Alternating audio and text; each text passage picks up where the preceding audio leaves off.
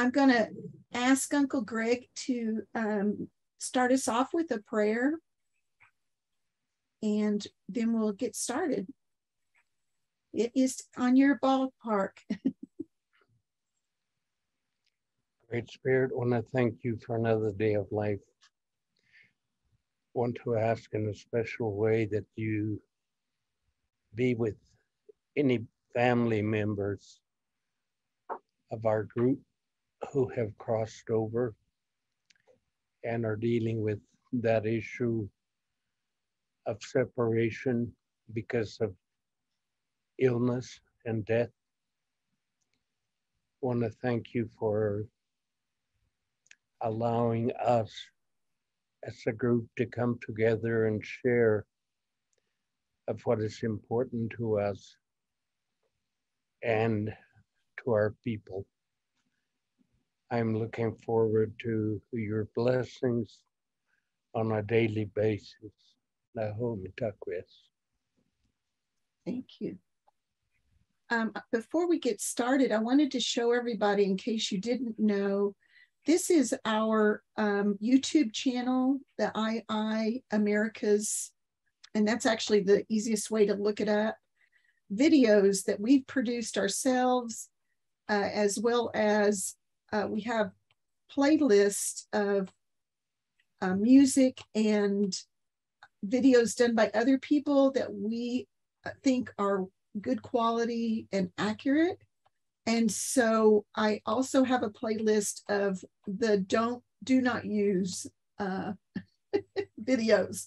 So if you happen to have anything you want to contribute, a link to something you especially love or um, something that you are very unhappy about, we can put them into those categories so that this can be a go-to place for people, um, for children, you know, to get information as well as adults, because we have both kinds of lists on there. But I didn't know if you all were aware that we had a YouTube channel. Uh, we have uh, 332 subscribers, and which is really actually pretty nice for an educational, uh, little educational list, especially our Ask Uncle Gregory videos. Um, those are pretty popular. And if you're not familiar with the Ask Uncle Gregory series, we uh, have uh, over time repeatedly been asked questions about our culture, and our usual answer is, gosh, we need to ask Uncle Gregory about that. And so ultimately it ended up almost like a franchise of videos where Greg answers pretty um, uh, truthfully and directly the questions that are asked of us from people outside the culture, as well as some difficult ones within the culture. So I'm really excited to introduce today. I'm going to um, stop my screen share here. Uh, we, we thought of this idea of talking about Alcatraz when our volunteer Emilia Gaston said, I'm going to California. I'm going to go see Alcatraz.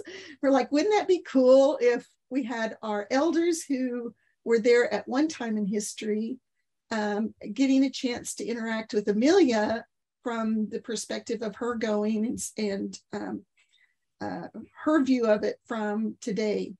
And so we're going to start with Emilia and let her share her thoughts uh, and how she got on that journey and tell us a little bit about yourself and because uh, you're doing a lot of wonderful things in the community and the same for Glennis and uh, Gregory if you guys could kind of introduce uh, yourselves a little bit too. So Emilia, I'm going to hand the floor over to you and let me know if you have any trouble screen sharing.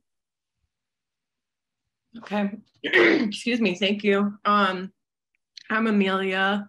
Um, I've been volunteering with IIA for uh, years now. I don't know how many, maybe about eight years. Um, so there's that. Um, but other than that, I'm a graduate student. I'm working on a doctorate degree in sociology um, at the University of North Texas. And I'm currently working on my dissertation. Uncle Gregory, thank you. it is a struggle.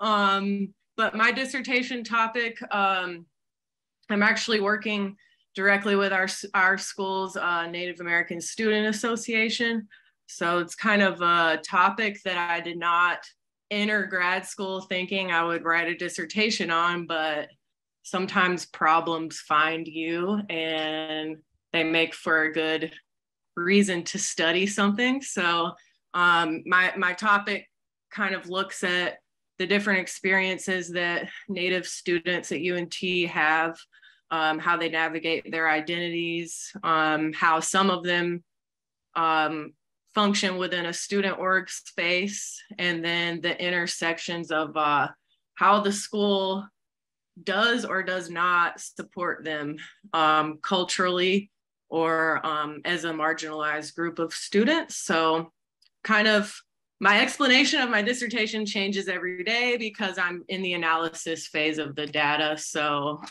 honestly, if you ask me tomorrow, I might say something different. But um, I'm working with different theories like critical race theory um, and tribal critical race theory. And um, another one that's becoming pretty relevant is um, racial capitalism. So that kind of looks at how, especially predominantly white um, higher education institutions, um, capitalize off of the promise of diversity, but may not necessarily pull their weight in what they actually offer to students that are not white. So um, UNT is kind of really starting to look as though it is a good example of that, although UNT is not predominantly white. So there's kind of some interesting institutional characteristics going on. But anyway, long story long, uh, that's what is consuming a lot of my time right now. But um, in terms of Alcatraz, um, I actually took this trip the weekend after Santa Fe Days this year. So I was probably on it. I'm not gonna lie. I um after Santa Fe Days, you know, the physical recovery is a lot. And so I spent a week like soaking in the bathtub, going to the chiropractor, stretching, buying new shoes, um, because San Francisco requires a lot of walking. And uh, I was concerned that my body wouldn't hold up from having done Santa Fe days one weekend and then walking the hills of San Francisco the following weekend. Um, but anyway, so this was in April.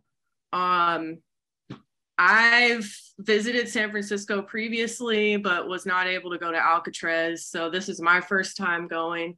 Um, and you know, Alcatraz was not like the focus of the whole trip, but it was definitely something that like was a requirement to go do this time. So I booked the reservation in advance. Um, if anyone on this call has never been, definitely book in advance. The likelihood of you showing up to San Francisco and then actually being able to get a ticket while you're there is really low. So, um, yeah, I I don't know how many people that they see every day, but it's in the thousands every day. So um, I'll just start a little bit with like the logistics of getting to Alcatraz because I think it's relevant. Um, so if you haven't been to San Francisco before, um, it's honestly like a lot different from DFW, obviously, but it's about a seven by seven square mile city.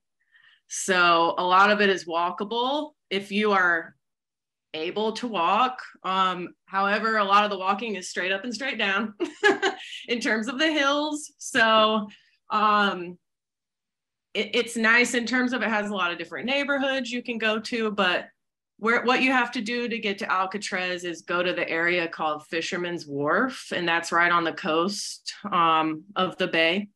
So from there, you can see things like the Golden Gate Bridge, um, and you can see Alcatraz from that bay area.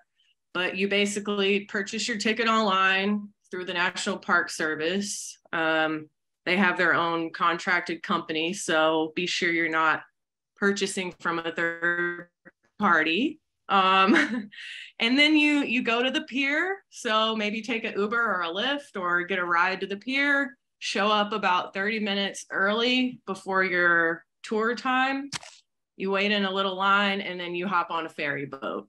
So I'm gonna share my screen now.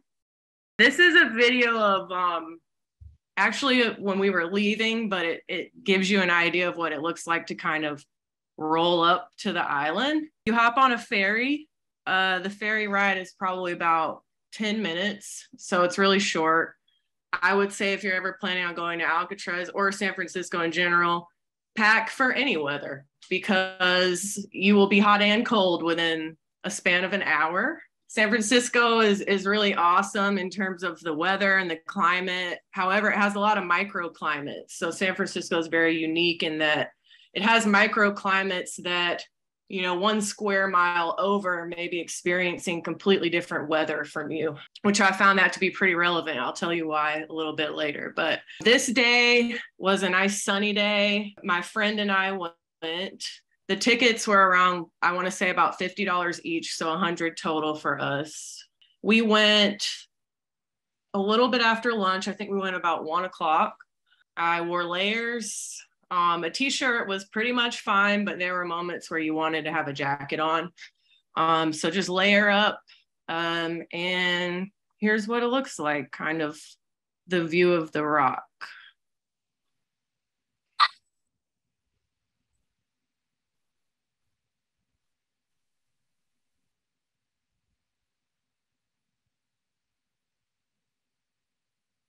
I don't know if you can see all those birds flying around. um, but one thing that's pretty significant about Alcatraz is that it's a bird sanctuary. Uh, I'll talk about that a little bit later, but that's just kind of an idea of what it looks like to cruise up to Alcatraz or kind of go away from the island. Um, it really is a rock. Like it when you get on the island you do you do understand that okay you know if you're trying to house prisoners that pretty much had no chance of escaping this is a very good location for that because it's in the middle of the pacific ocean. Um, the water's very choppy. It's very cold. Um, it looks beautiful on a day like this but i can imagine how daunting it would be to consider having to swim in that water ever I, I wanted to go over quickly um, just a little bit of history of Alcatraz in terms of how it got its name. And Uncle Gregory probably knows all of this, but um, the original name was was given to it by Spanish colonizers. So the Alcatraz name came from the original name that was given when the first um, Spanish explorer, I guess, uh, sailed around that area to make maps. So from the first maps that were made of that area, that's where the name came from.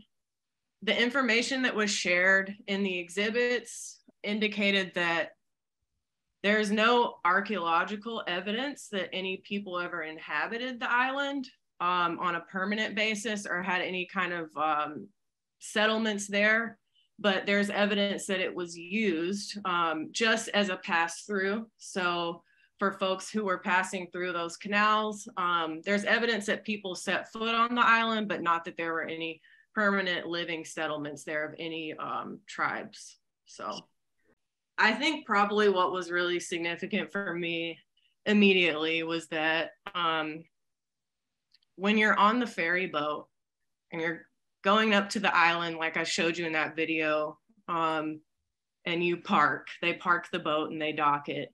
I happen to be facing away from the island, just looking at the scenery.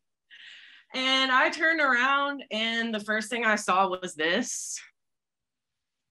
And that's where they park you. So you you come off of the ferry boat, and this is where you enter. So I could imagine for folks that don't know the um, history of the occupation that they probably would not know what to make of that. Um, if you're the per- kind of person that only knows Alcatraz as a prison. So um, that was very, and I, I'll probably get emotional right now, but like pulling up to that was very emotional for me. Um, so yeah, it's just hard to put into words. Like, are these your photos too, Emilia? Yeah, yeah. So all this, all these will be my photos, but just to see that the paint was fresh.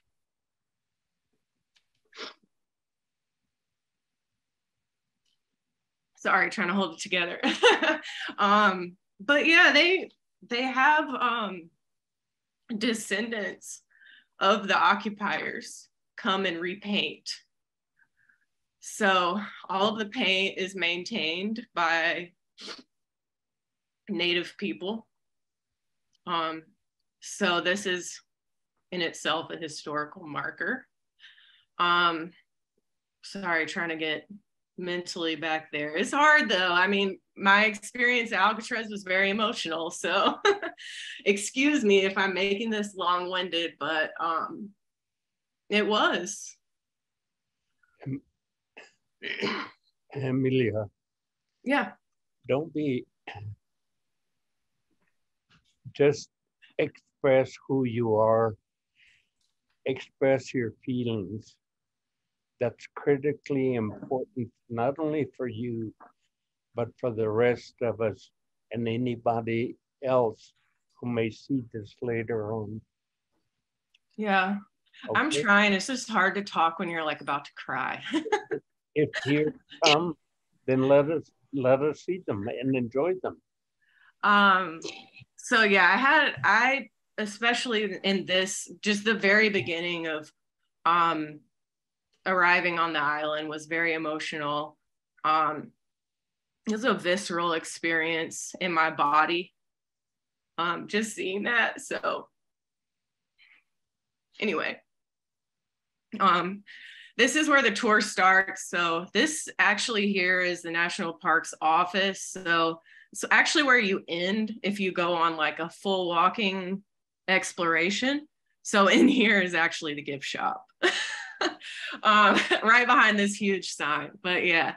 Um, so when you arrive, you huddle up in this area outside of this giant welcome sign. Um, and the park ranger gives you the lowdown of what the rules are, what to do, what not to do um, and just kind of the rundown of everything on the island, where everything is. And the, the cool thing is you can go at your own pace. So you kind of show up and you can just walk around wherever you want to go. So you don't have to go in any particular order. You don't have to follow a tour, but you can. They have a walking tour if you're interested in that. They have a few actually going on at the same time. Um, but I think one of the biggest comical things about the the talking to by the park ranger was don't look up and don't open your mouth while you look up because remember I said it's a bird sanctuary. Um, there are multiple species of seabirds that inhabit the island in the thousands. And so um, you can imagine why they would say don't look up and definitely don't have your mouth open while you look up. And um, gotta say, I did get hit. So I got hit while we were waiting to get on the ferry to go back. Um, and the park ranger saw it and she called me out on the megaphone. So that was pretty funny. Um, but yeah, there's birds everywhere. So down on this ground level, you're not allowed to eat um they or they ask you to or sorry that's the opposite you're allowed to eat at the ground level but any levels above that they ask that you don't eat because you will get swarmed by birds so um moving on um there the explanation of this comes kind of in a different area of the island so like I said, to pull up and see this sign, I would imagine, especially for folks that are not familiar with this history, would be like, well, what's that all about? Um, and it's not explained right there. You have to go do the tour of the island to find out. Um, and so we were told that there was a Red Power exhibit um, that was all about the indigenous history and the occupation. So when we started our walking, we went in that direction. So here's what it looks like to kind of walk up the, this is actually a driveway. So if you think of um, you know, army vehicles, federal vehicles, all of these are roadways. So, you know, again, Alcatraz is its own island. So it had its own fully functioning, um, I hate to say, but prison economy there. Um, and the, the origins of Alcatraz, there's a lot of history, but if, if we're talking about like the political origins, Um, firstly, it was used as a defense fort. So because San Francisco at one point had become such a um, a big area for commerce and they were trying to make it even more of a port of commerce, they had to defend it. So Alcatraz was a defense fort and it was mounted with these giant cannons all around the island. Um, but they actually never used them. So Alcatraz never defended anything, but it was set up to be a, def- a fort of defense. um, and then um, later in history, um, and I'll, I'll get to that when I get to the photos, but um, there's history of uh, the Hopi prisoners, um, 19 prisoners that were forcibly arrested and taken to Alcatraz. And the short story is that essentially these were folks who the government was unable to steal their children to take them to boarding school. And these were people, especially men, that put up a fight. And so they were arrested to be made an example of. Um, they thought that if they could arrest these Hopi men, that um, they would teach them while they were on the island about all of the great things about education and convince them to allow their children to go to boarding school. But we all know how that went. So um, there, I'll show this as well. There's a page um, that gives a really detailed history on that and it's managed by the National Park Service, but it's it's really accurate and it, it names all of the Hopi men and it goes into really, really good detail down to like month by month, you know, how they came to, to that point of being prisoners on Alcatraz. Um, oops, well, sorry everyone. Okay. Um, so as we got to walking, one of the first things you notice is the greenery. Um, not something I, I didn't go into it expecting anything, but I didn't expect for Alcatraz to be like a botanical garden. And it was. um, and I found out, and you'll see in some of the other photos, I found out that um, the reason there's so many so much biodiversity of plant species there is because at one point when it was um, I might be messing this up, either an army fort or when Alcatraz was a prison, early in the early days of it being a prison, um, the guards' families actually lived on the island. And so the women actually started these gardens. So these gardens are over 100 years old.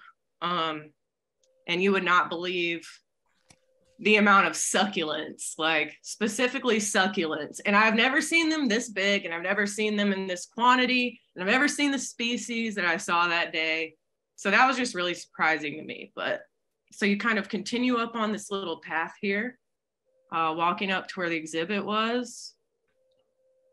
Um, this is one of the first um, informational pieces, and this is just what they have on hand that talks about the um, sorry about the occupation or not the occupation, the Hopi prisoners. So um, I will say that they did a really good job at putting these facts in your face. Um, like I said, especially for folks that may not know the indigenous history. Um, so like I said, we started at the building that was housing this Red Power exhibit. And I believe, I wish that I could remember what this building served as, um, but I know that this building here was like a factory and it's wild. I have a picture of it from the other side I'll show in a minute that shows all of the growth from within that building.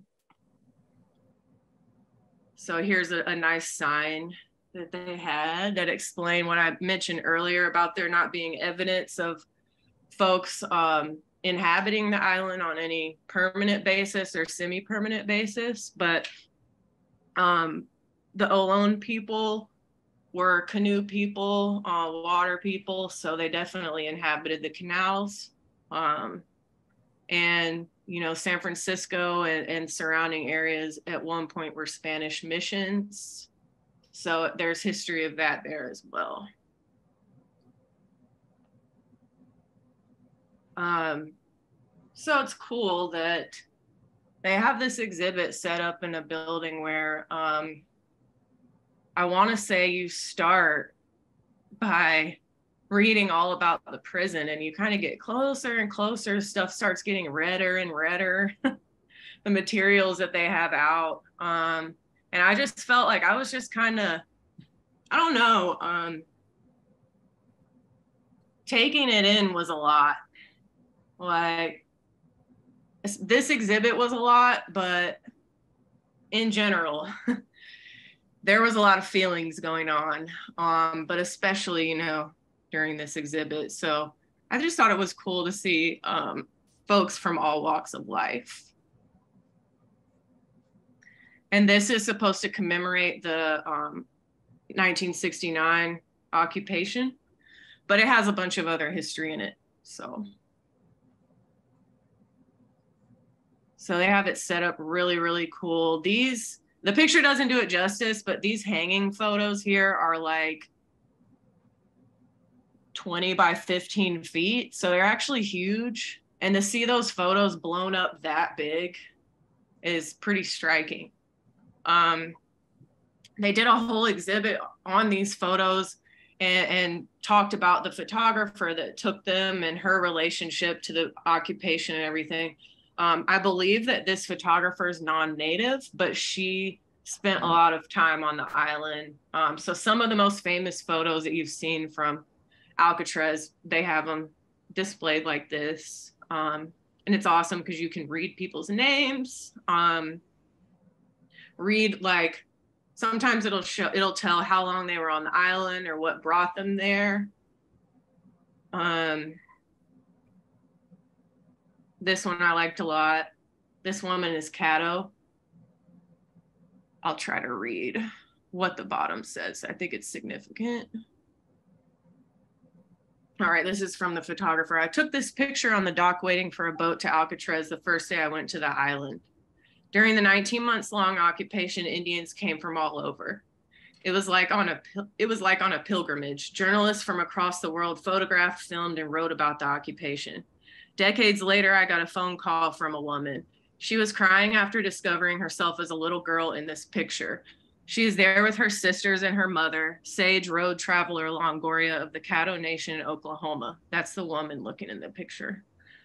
The woman looking in the left is the caller's aunt, Diana Vargas. She and her husband, Roberto Vargas, founded the Mission Cultural Center in San Francisco, a now famous institution. The girl with the ponytail is the caller who made the discovery on my website while researching her youth as an urban Native American for a presentation at her daughter's school. So pretty significant stuff in photos there. This is just a close up that I took one because I love this. Alcatraz Sioux.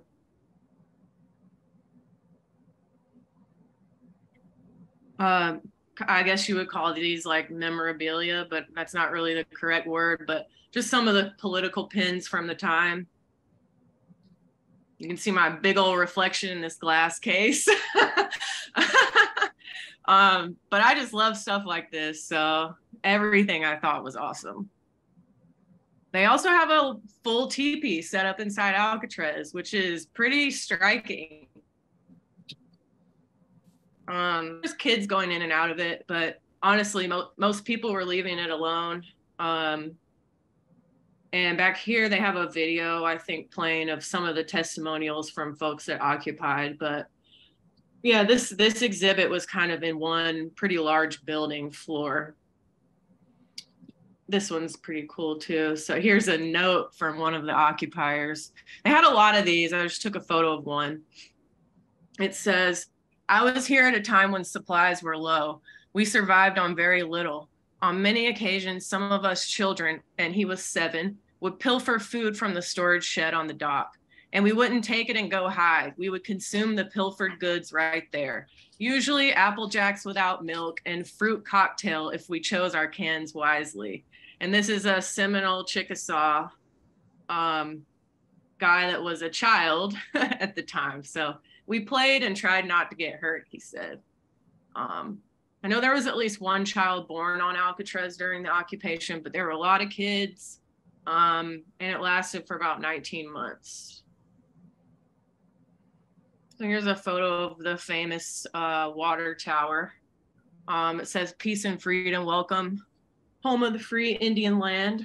Um, another story that I read on one of the note cards um, from an occupier was that, again, from someone who was a child at the time, said that they and their friends were specifically told do not go up on the water tower.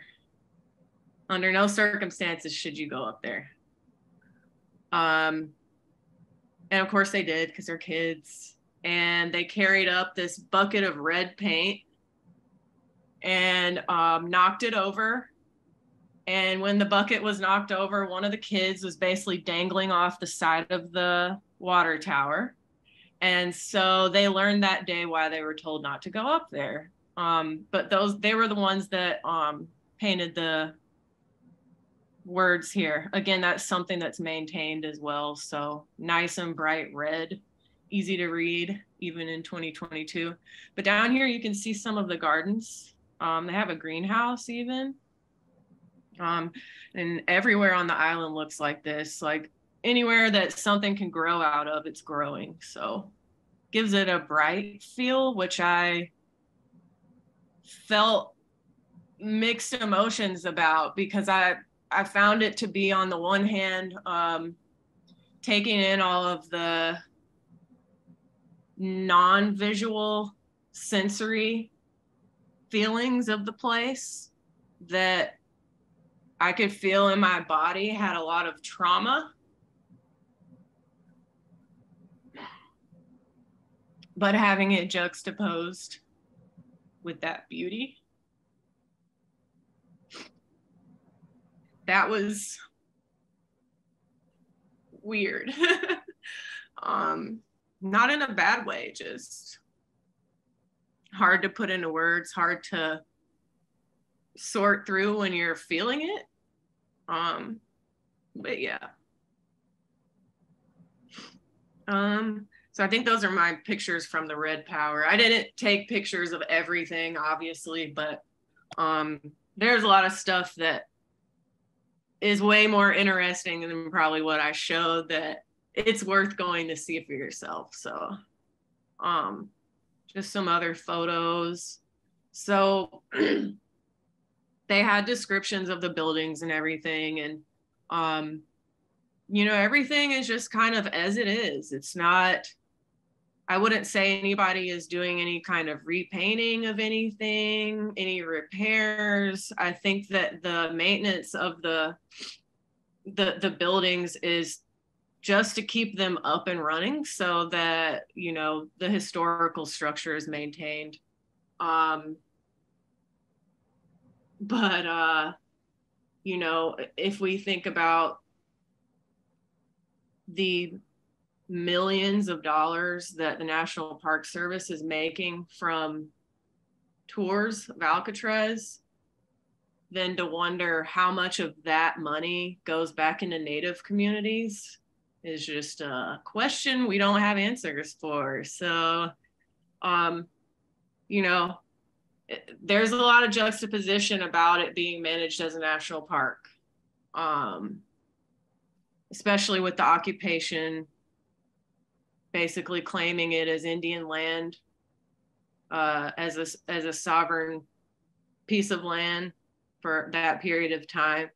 Um, I have mixed feelings about that, but I understand that it being a national park technically uh, makes it accessible to everyone so that people can learn history. So, you know, whatever. Um, so these are just some more photos of the inside. Nothing really too significant. Just stuff I thought was interesting, like half decrepit toilets. just, I don't know, things to me that were aesthetically like intriguing. Um, to just walk around and wonder what went on there.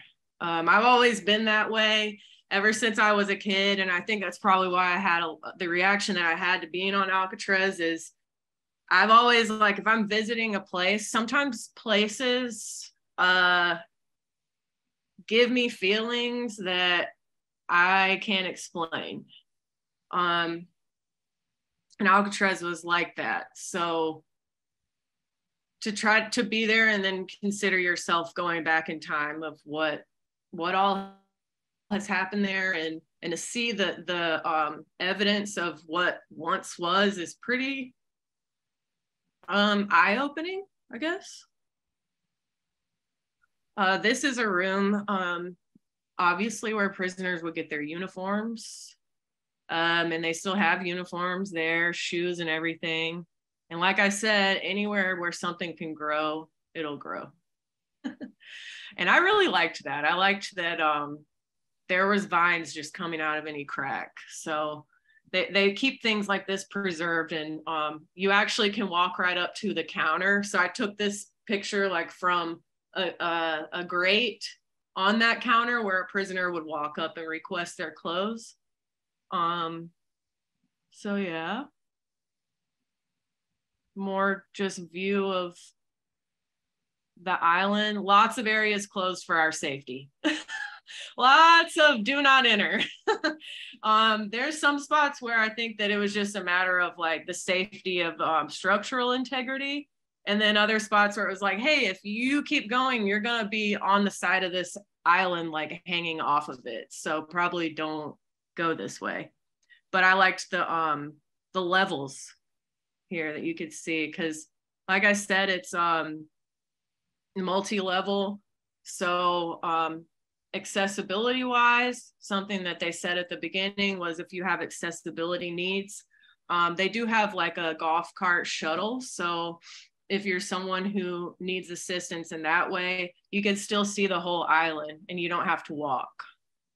Um, even though it is, it, it's a, it's a walk.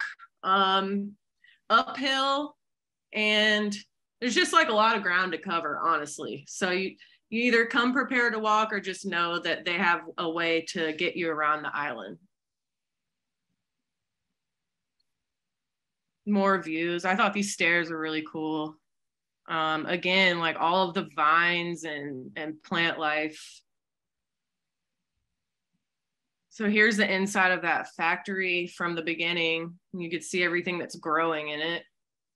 Um, a lot of these buildings are just bones, you know. But I just I think things like this is really beautiful. So it just I don't know. It signifies to me like regeneration and growth and healing. All right, so I think my next photos are more based around the prison. So, um, a little bit of weird background about me as a child is that I don't know why, but I think that I saw the Escape from Alcatraz movie with Clint Eastwood like way too early. because uh, I just thought that was the most interesting thing ever. I was probably like seven or eight years old watching Clint Eastwood make a paper mache head on the History Channel. um, but yeah, I thought that was my my first um, encounter with Alcatraz is through that movie as a child. So I did not learn about the um, indigenous history until I was an adult. So again, I can imagine how many people also did not know that history. But um, a lot of this about the prison side of it fascinates me too. But um, so I was familiar with the, the prison side of things from that movie, and then doing a little bit of research, but Alcatraz was basically a prison for folks that they moved over from other prisons. So Alcatraz was like the place they threaten you with. Um, and I actually have a book written by the youngest guard ever to work at Alcatraz. And it's pretty interesting. Um, I cannot imagine working at a federal prison at the age of 20, but you know, um, and being younger than a lot of the prisoners. But interesting view of what life was like uh, being a guard. Um, apparently, um, Alcatraz was run like on a very strict schedule. So prisoners woke up, ate, did everything at the same time. Um, from what I, I learned, uh, the food on Alcatraz was like top quality prison food. Like people wanted the food there. So there are some benefits at Alcatraz as a prisoner. Um, but one thing that they pointed out was that Alcatraz was one of the beginnings of uh, the prison industrial labor complex. So basically, Alcatraz was one of those places, and we still see it today, but especially back in its earlier days of um, exploiting incarcerated people for labor. So everyone on Alcatraz had a job of some sort. Um, and this is the cell house, if that's not obvious. Um, it looks crowded, but we actually move, you know, you move at your own pace. The cool thing about the cell house is that it is an audio tour. So you get a little device and it helps you move through the cell house in a proper order and it tells you information about each spot that you're at. Um, yeah, so here's here's kind of what it looks like when you enter. This is a library. Um, this was kind of interesting because uh, apparently prisoners were not allowed to get their own books. So there was one prisoner whose job was to work at the library. And I think that they were supervised by um, a guard. So prisoners would put in their order and this person would gather the books for them and deliver them to their cells. So prisoners were not allowed actually in the library. Um, but yeah, this the room is kind of it looks like this, and then if you were to turn around on the side opposite side that's not pictured, it just has big grates like a cell from floor to ceiling. So this is very tall. This is probably like mm, 40 feet high ceiling. So um, this section is the hole. um, so the cells were the cells were all I want to say um, five by nine, so very small, very small, and those are regular cells.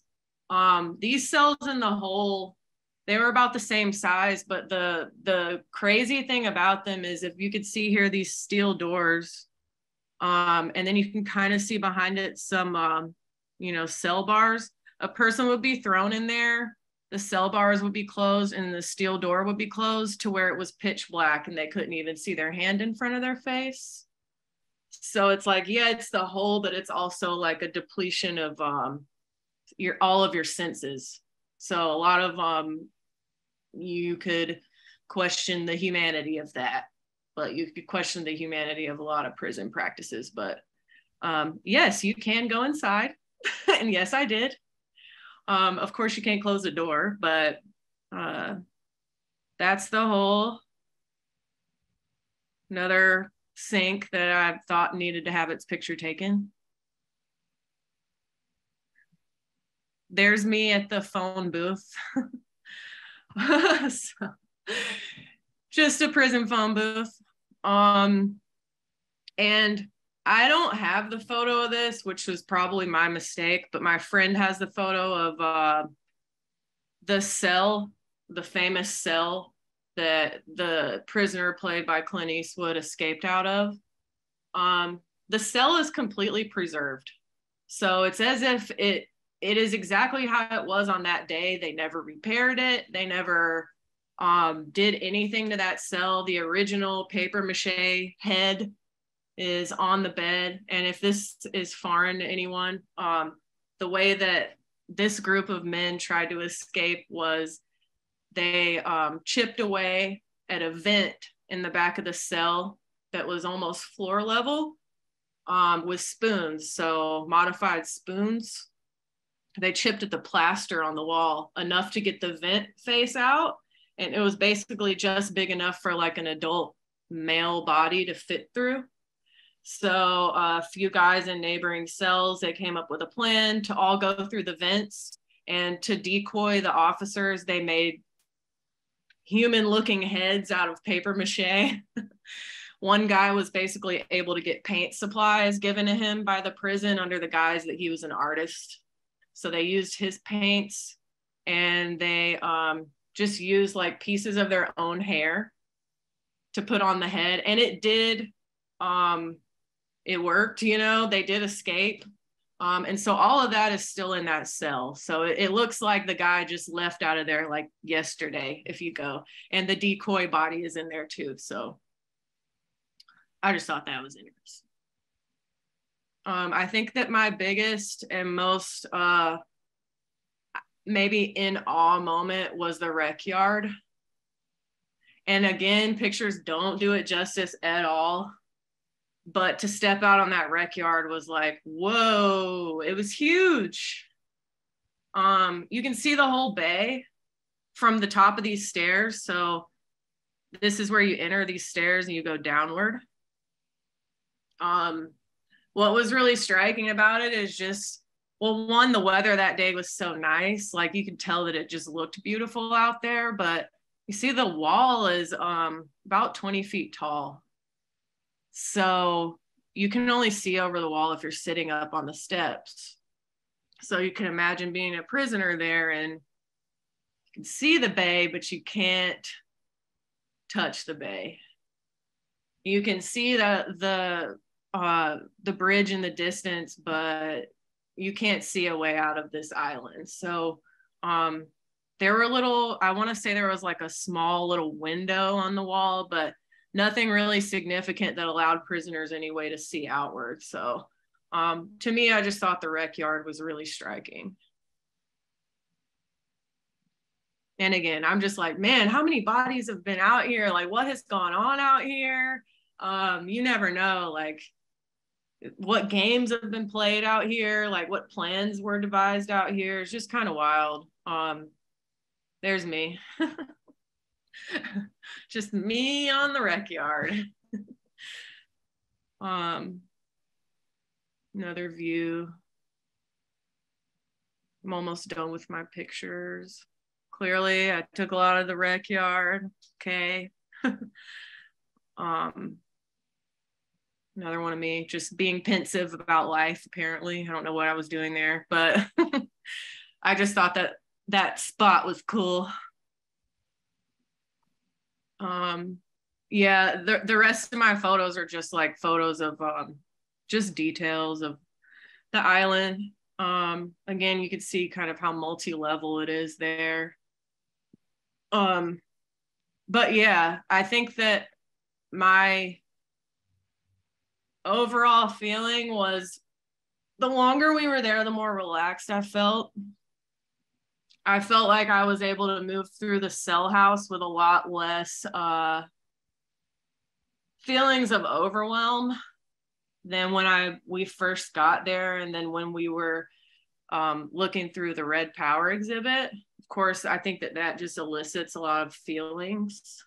Um, and we went through the cell house last, so by then I was in a different kind of like headspace, but um, my overall takeaway is probably along the lines of like I felt a lot of emotions there, but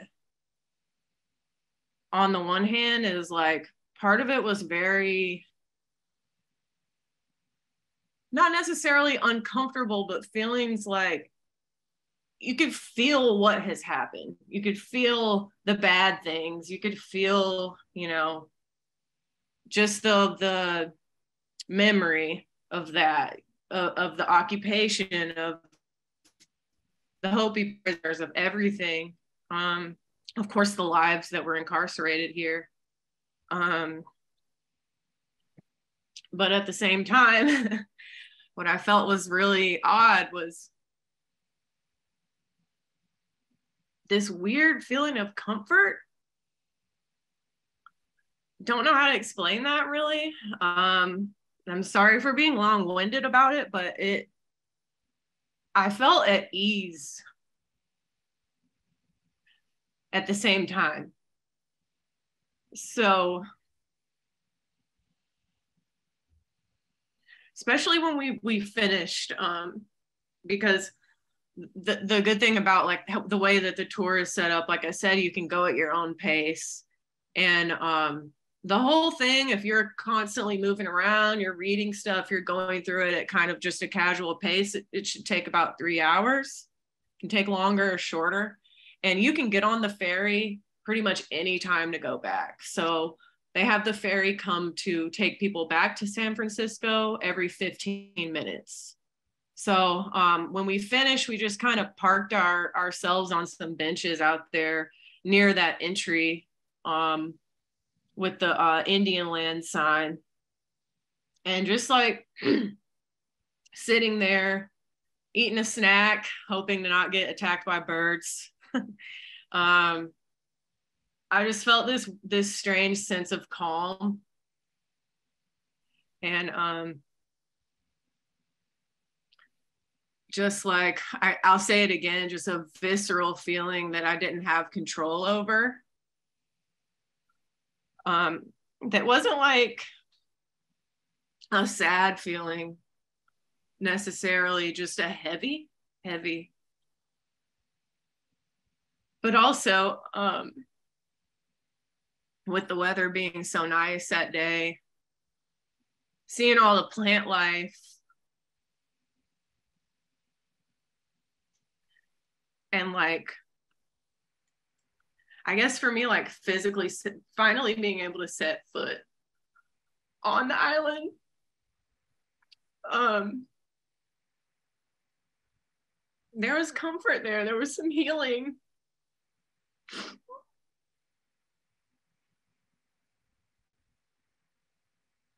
Of just being in that space, like nothing particularly about what we read or did that day, but just there. Um, and I think that um, that really speaks to like how we can connect with place. And I know a lot of people have their own um, feelings of connection with like their homelands. Um, I certainly do as well, but I don't know if anyone else can relate, but there's some there's just some places for me. Like again, it's just hard to put in in words on why you feel drawn there. And it's not because of again any particular thing that happened there. It's just kind of like the general idea of a place like that. Um and so yeah that's how that's how i left. Uh i want to go back. Um not sure if if anyone isn't aware um they do gather every thanksgiving on the island for ceremony. Um and i think that there are other occasions throughout the year that involve folks who are part of the occupation or their families. Um, so it's still very current, very relevant. Um, yeah, uh, that's in, in, instead of continuing to repeat myself anymore, I guess I'll end it there. But I'm happy to answer any questions or just hear other people's experiences. So I can stop sharing now. thank, thank, you so much, Emilia. It sounds like it was a real emotional, uh, powerful experience just going and the pictures I'm sure stirred up a lot of memories for Glennis and, and uh, Greg. Um, you know, that probably how what it looked like when they last or when they were there is quite different than what you saw. But just that growth, the growth of the plants for me, you know, is also a reminder of how life does go on and we we do survive and and all. So i thank you. I, I, I have one thing that i just remembered since you said plants. Um one of the rules is don't take anything from the island. Good um that being said um like i said there's a lot of succulents. Um, a lot of stuff that had already fallen on the ground that did not have to be pulled. And so I put two little pieces of succulent in my pocket.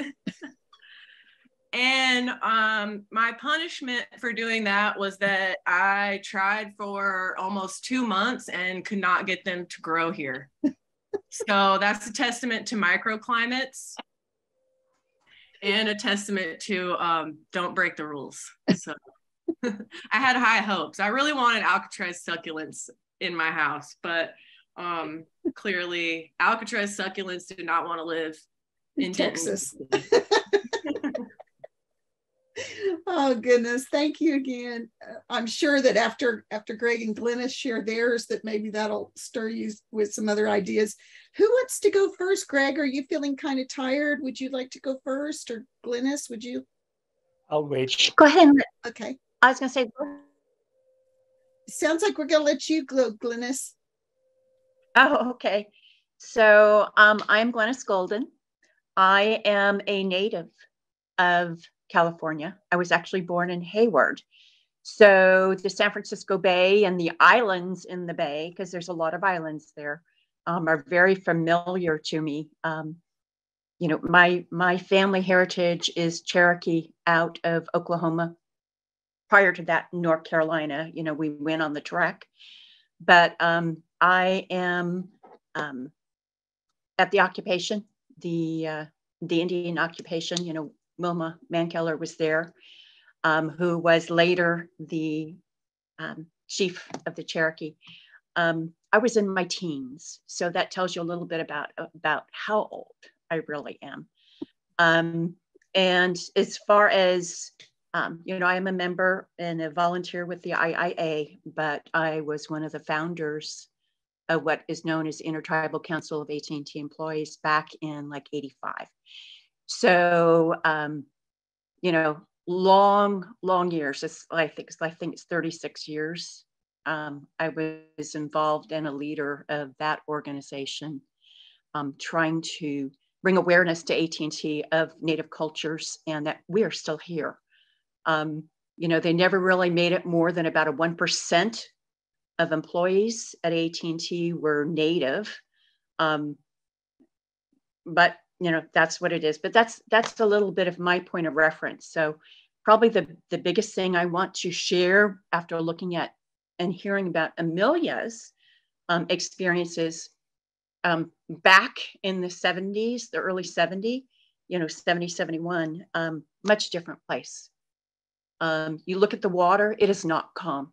You know they showed the one photo of um, indians in a canoe.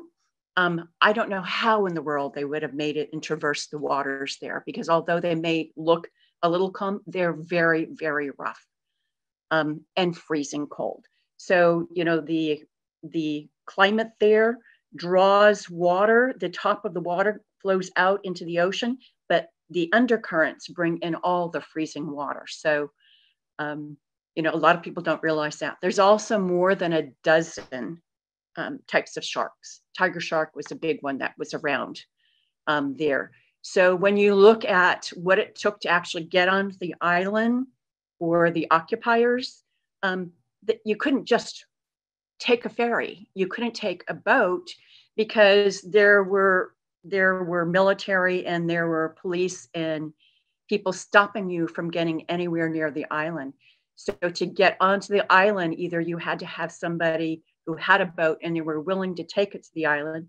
My family, we had a little 15 foot boat. My nephew or my my brother, my father, and my uncle, we attempted to go out there. We actually went on the guise of fishing. But I'll tell you, the waters are really rough, and we were in a little 15 foot boat. It was it was difficult. You couldn't really even get close to the the uh, the island because it is rocks. And what you don't see is it's boulders and rocks. So as the waves come in, you're crashing against all those rocks. So when you think about people going there, um, they actually had to get in the water. They couldn't pull up at the dock where they brought prisoners in. They actually had to dive into the water with the sharks and everything else to get to that land. So um, the other part is um, if you didn't bring it with you, you didn't have it. So when you talked about the store and you know they were getting cereal, somebody had to package that up, get it waterproofed, and get it carried to the land because there was nothing. there was nothing and there was no boats so you know you they they relied on people trying to bring things and to actually float them um, to get them to the island so people would have supplies so the few children that made it where that's what they went through we made it to touch a couple rocks but we actually didn't make it physically on the land um, from there we actually went over to angel island which is a little further away but most of the the islands in the bay were some type of prison or internment. So Angel Island was the place where they put a lot of the Asian people during the World Wars.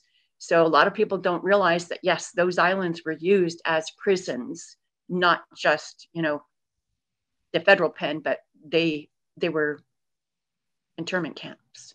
So you know it's interesting hearing Emilia because after being there and sitting in the bottom of this 15 foot little boat in all the rough waters and having the, the, the being chased, you know, by boats trying to get you away from the island. It's just very interesting and different to hear, you know, that, that you can actually walk on it and get there.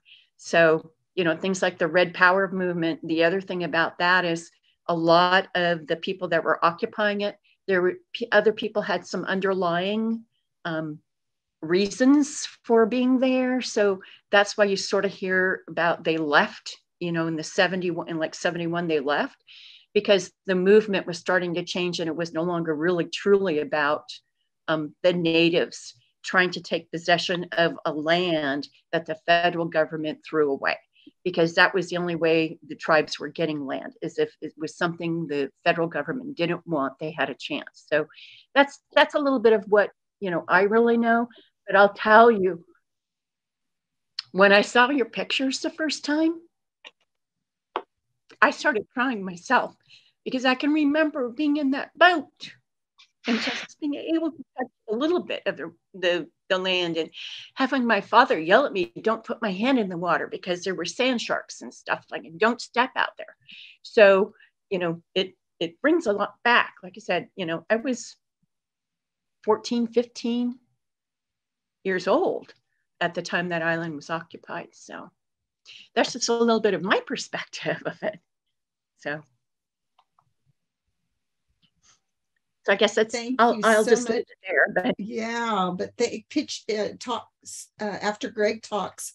Let's kind of get some discussion on that because that's that's really emotional. I was trying to picture being that young and being in a boat and trying to be successful, and trying to be present at this you know historical gathering and then not being able to get there and how scary that was it sounds like it was really um, very very stressful. And i can't imagine the first the first people who got there but i bet greg has some stories or has heard stories.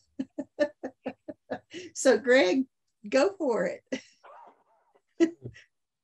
Well i I wound up in Southern California under the relocation program in 62. And uh, I now have family all over California as a consequence. But 69, I had just gotten out of the Marine Corps and come back from Vietnam and uh, had started college. So when all of this was taking place over there, even though I had had have family, um, had been to San Francisco, um, but I had never been out there, never even thought of, of it. Um, as an Apache, there are things that we're not supposed to do and some of us do them anyway. And uh, I met a Oglala Lakota woman from Pine Ridge and uh, at NIA 77, 78. I moved to San Francisco. Um, I thought I had found the woman and the dream. So during the two years that I was there, 78, 70 to 80, when I moved back to Dallas, uh, I did a lot of things. Um, part of what I did was contract um, employment with the administration Native Americans, which originally was called ONAP, Office of Native American Programs. When Reagan came in, the term Native American became the law of the land, and the term Hispanic became the law of the land. So part of what I did was do training for the urban Indian centers in the Bay Area, uh, from Hoopa to um, San Jose.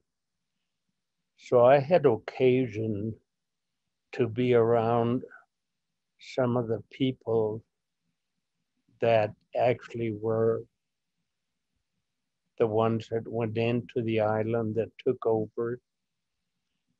I heard a lot of their stories, was able to ask some questions, to wonder, and I did make a trip with some of them from the Urban Indian Center in San Francisco, um,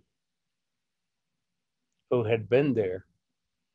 Uh, who had occupied, who had, as you were talking, Glennis explaining the reality of what it took uh, to get there and what was there and not there. And there wasn't a whole lot there. Like you said,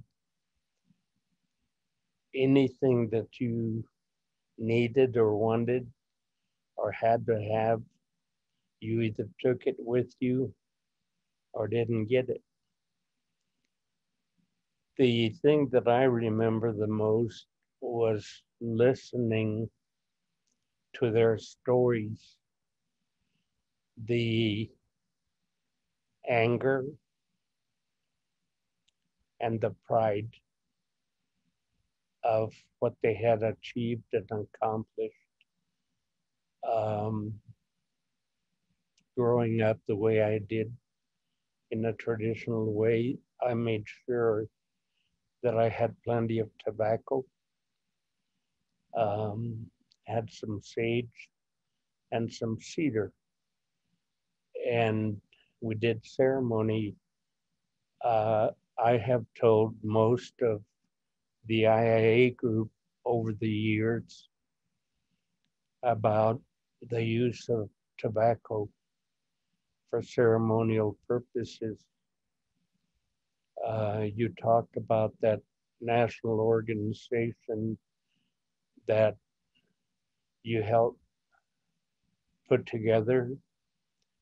And um, being a Fed, retired Fed, I was able to go to a lot of the regional offices, the 10 regional offices with the U.S. Department of Health, Education, and Welfare, now the U.S. Department of Health and Human Services. I always took tobacco because my dad's dad would say, take medicine to protect yourself. Take medicine to thank Great Spirit. Walk along and just drop it as you're walking along, no matter where you're at, because non Indian people have no idea what you're doing and why, and how powerful and sacred it is for us to protect ourselves and the environment. Emilia, I said what I did to you, and thank you, first of all, for sharing this part of your life with us and with me. Uh, as your uncle, it means a lot to me to listen to your words, to your thoughts, to your energy. And I really, really like to hear you say several times about the calmness. You know, we all walk our own walk, talk her own talk. But the sacredness of what Great Spirit has for us that allows us to go anywhere, certainly in the Americas, and have that feeling of comfort. It's because we're home. And all of you, or most of you, have heard me say and will hear me say, you know, I have never been a stranger anywhere, North Pole to South Pole. As a native person, I'm home. And to me, when I heard you say that it was a calming, that you felt good, that you felt comfortable, you know, the place is far enough along now. And there our people were there and did a lot of ceremony and still go back and do ceremony. I don't have to go back to do ceremony with and for our people in Alcatraz or anywhere else, North Pole to South Pole. So I, I had uh, the honor and privilege, like I said, of being there 78 to 80. I did one trip out to the rock. What impressed me the most uh, that I have carried since and is the courage of our people, like you, Glennis, who made a commitment and followed it. Um, I want to deviate just a little bit and leave it at this. When I was talking with Kathy and my family, especially Salichi, about what we were going to do with your pictures, stories, um, is the American Indian movement.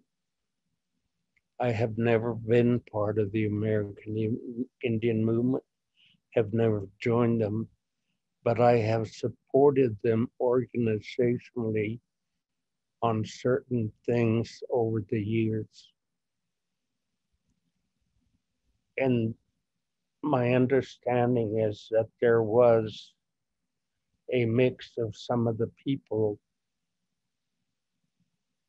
that went back to Alcatraz that reclaimed what is, not was, but for me is and forever will be ours. Whether the systems, people, the government, the foreigners, etc.,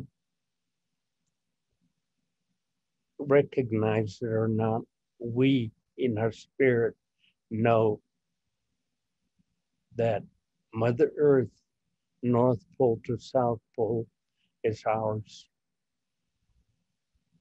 And we are able to walk with each other and perform ceremony with each other and keep growing in a good way. So the other thing that was go, going on in the, the Bay Area when I was there, the two years, was DQU, And basically, that's where Dennis and Russell would come in every now and then, and uh, um, Crow Dog and other members of AIM, and do sweats and do ceremonies. And I went up and participated in some of that. So I want to thank each and every one of you who is part of our dream under the guise of the Indigenous Institute of the Americas. Because for us, when we started putting this dream together, this is what it's about. Our past, our present, and our future. So I want to thank each and every one of you for all that you have done and continue to do unto the seventh generation. Thank you. That's all. Thank you so much. You know, one of the things that we uh, didn't talk about is what led to the occupation. And I've heard, you know, some uh, stories about that, but I was wondering if Greg, if you or Glennis would mind sharing what you remember or what you've learned that's not necessarily in the history books, but was a part of that um, that story. Well, I'll let my Cherokee niece talk about that. And then I will maybe add something. Um, so I wish that I could be more thorough on this, but uh to my knowledge, um again, Glennis can probably correct everything I'm about to say. Um, to my knowledge, uh, around that point in time, um, there was a lot of political uprising going on. Um, and they, I believe that the that the decision to occupy Alcatraz was, um, of course, um, and, and, this is also what I read uh, from the information that they had on the island was a lot of it was about making a statement. So mm-hmm. um, they made the decision to finally participate in the occupation. I, I think after the San Francisco Indian Center burnt down, um, and yeah. there was no space. Um, yeah, designated no rebuild. Yeah, yeah. So um, that like was the final spur that sent people to do the occupation, but um, you know, they made the document about demands from the Indians of all tribes I can pull that yeah. up too. I think that's really relevant. It's still relevant today. Um, so they, I mean, they utilize the island as a, a, a way to reclaim um, Indian land, make a, a, political statement, and also get it to have more publicity on the national scale. Um, and so, like Glennis was saying, they occupied for around 19 months. Um, and again to my knowledge some of it had to do with uh, supplies issues running out. And then also of course like the federal government starting to physically remove people from the island. Um, that's my understanding of it. And and that is accurate Emilia. That is completely accurate. So the the climate the social climate um, was um, no tribe was really treated well um, in that part of California. So, um, you know, my, my, family, we had a lot of artifacts and we actually loaned them for display at a couple museums and stuff. And things like, and other families did as well. And they refused to return them to us because they said they were too valuable to to give us the items back. So that was you know that is for those who do have family artifacts you know 100 plus couple hundred years old to have them taken away because they said you you're not worthy of your family is you know a lot of that was some of the underlying um, issues that were taking place that they you know the you weren't recognized as as viable. I mean i hate to say it that way but you were not re- recognized as a viable person in the community. You were considered as cast down. So um, that that's a lot of things that happened. And like i said when they they were going out there they actually to get onto the island they had to swim so it's about a mile and a half. They they got closer but it's about a mile and a half distance wise from land out to alcatraz. But swimming that's like about a two and a half mile swim in freezing cold waters with sharks and stuff. So it's it was it was one of those this is us. We must do this. This is our land. They don't want it. We need to start making sure they know we are still here. So, um, you know, the climate, the social climate at the time that hopefully that gives a little better perspective. Um, but I, I know being born and raised in that area, you know, and especially if being native, you weren't thought of very highly, but being mixed race native, it was even it was just as bad. So, um, you know, hearing about your visit is, I, it makes me feel good that you not really having all of that background went there and felt comfortable and you could see and you could feel. Um, that's really nice to hear because it, it was it was tumultuous.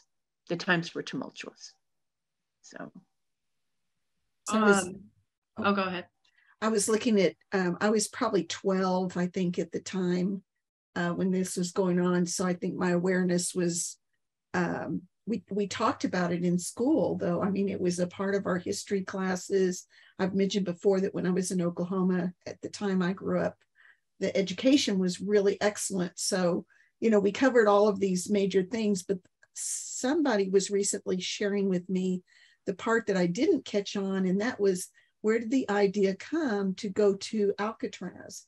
And so there was some sort of a federal law, is that correct? That if the federal government no longer is utilizing land, mm-hmm. and so somebody had to have at the Indian Center had to have, you know, had one of those nights where everybody's sitting around talking and saying, hey, dang, let's just go take over Alcatraz. Like I would have loved to have been in on that conversation, you know, to hear it.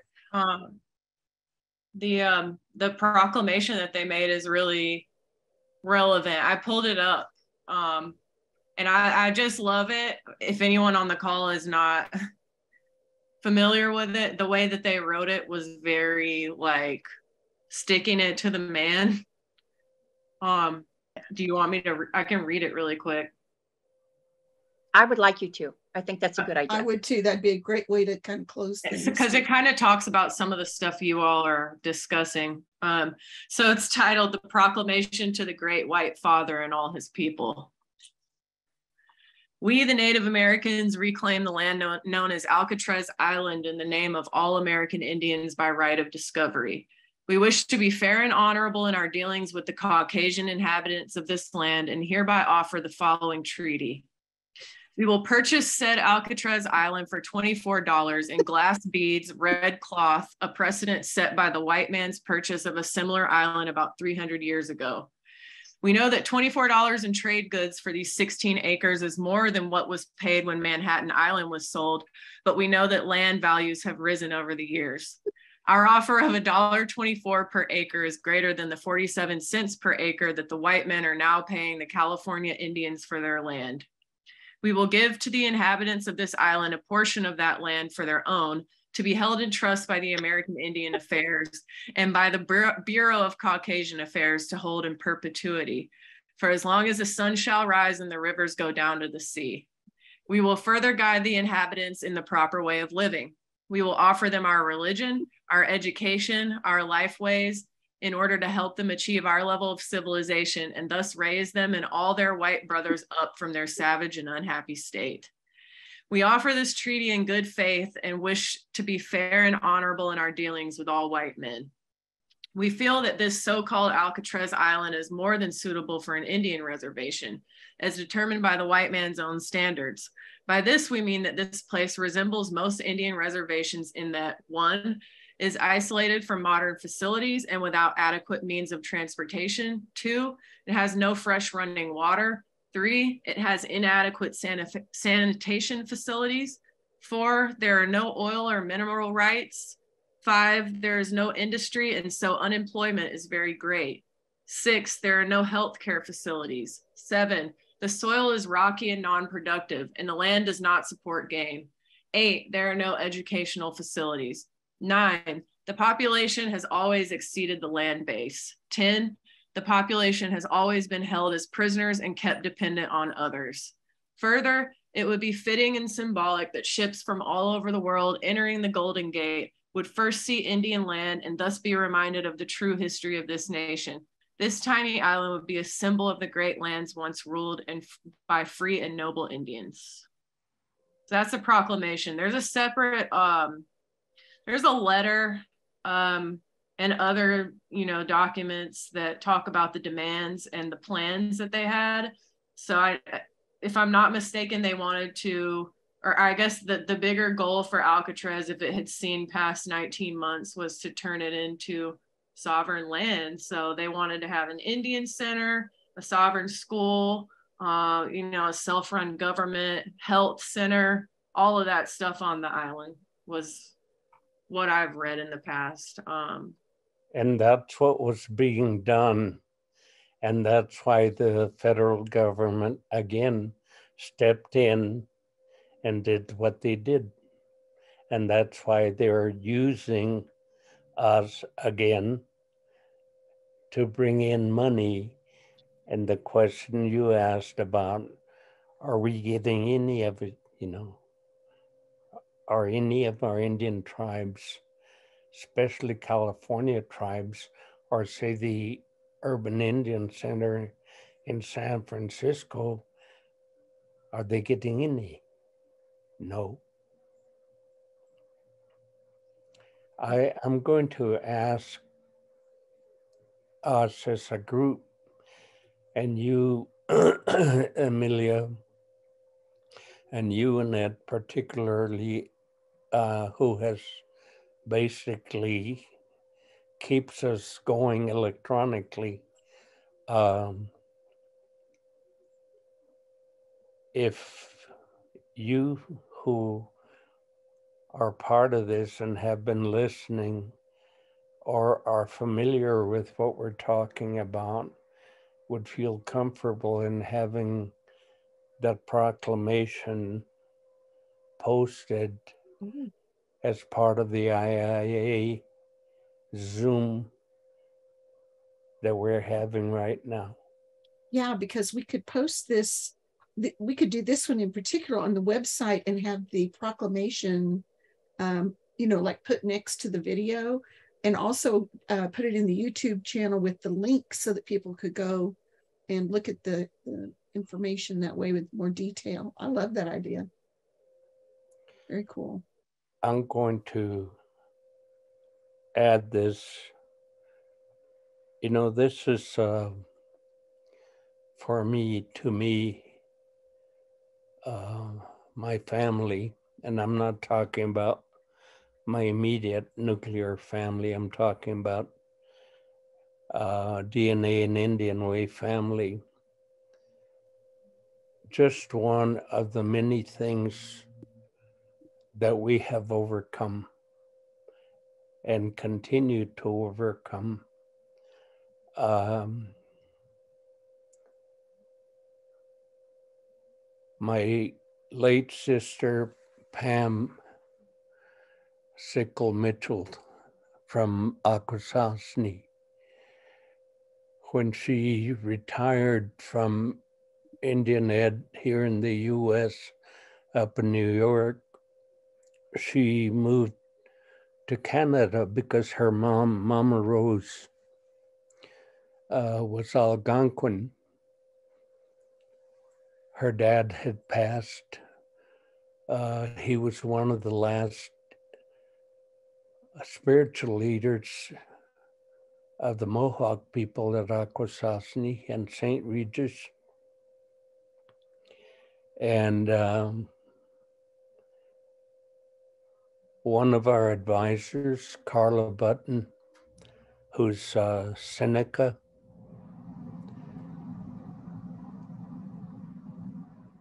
there are many things that have happened with our people and I'm using those two as an example of things that, as I said about AIM, not a member of, but supporting. Uh, so this may be some of the other things that we want to discuss in the future as part of our Zoom. I would love to get Carla to talk about, you know, some of their history and not too distant history in dealing with the white people around the the money fact that the propane, butane people tapped into their gift from creator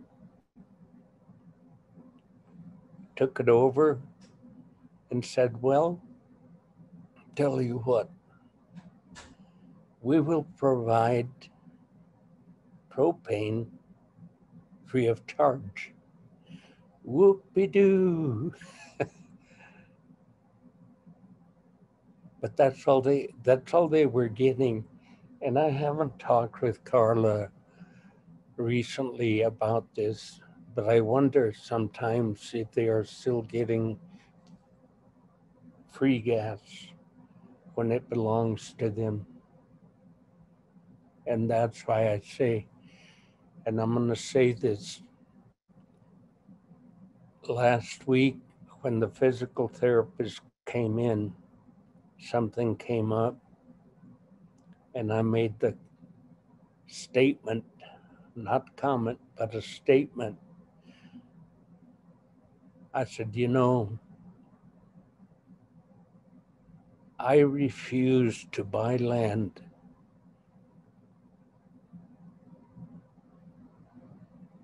because it's my land. And why should I pay foreign people for, for what belongs to me and my people? And yeah, I, I own land now, quote unquote. Nobody owns land, belongs to creator. But I think this kind of topics for educational purposes, for sharing in a non aggressive, in a non volatile manner are very important. At least that's my feeling. Thank you. Thank you. Well, we're running over time. It's been a really very wonderful, a real different view of things, you know. So um, I will get this posted on our um, website and on our YouTube channel at II Americas. And we will get the links to those. Maybe Emilia, you could help me get the links to the uh, proclamation and declarations that were made um, because they are, they're very pertinent to today. And for those of us that um, have lived through those many, uh, the many generations of change, if you want to call it that, change that has remained the same. it's kind of it's kind of nice. It's nice to see these young people revisiting these stories and, and bringing them to life again, because sometimes um, these stories get buried amongst all the other news stories that have come. So appreciate it, Emilia and Glennis. What a wonderful family story too um, of trying to get to that island and but still making it to an island. you know? It, it, and and you know i don't know that i would ever go there but i just remember i will never forget that one attempt in that small boat in the really rough water and it it had a windshield on it and we fell through the windshield and broke that trying to get onto the island so Oh. i mean that, that's memories i have but it's so nice to hear that you know hear Emilia's perspective it's just um that at least you can get on a ferry boat now and relax as you go. yeah I mean, I mean, the feelings are still there that's yes, that's yes. that's what i took away is still there Glennis, I'm going to ask you if you would consider sharing with us the Cherokee longest walk from Oklahoma to California Ooh, because that is So- part of our, that is part of our history. You know, most people even today don't realize that Gene Autry was part of that movement, that he achieved and accomplished a lot, but there were many other Cherokee people.